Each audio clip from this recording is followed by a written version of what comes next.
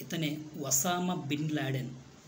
ఇతన్ని రెండు వేల పదకొండులో అమెరికా ఆపరేషన్ జెరానిమోలో సీల్ కమాండర్ చేత కాల్చి చంపడం జరిగిందనమాట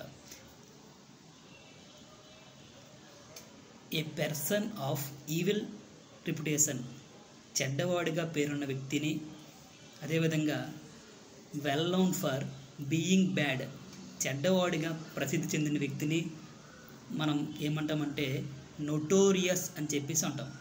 అపఖ్యాతి పాలైన అని దీని యొక్క అర్థం.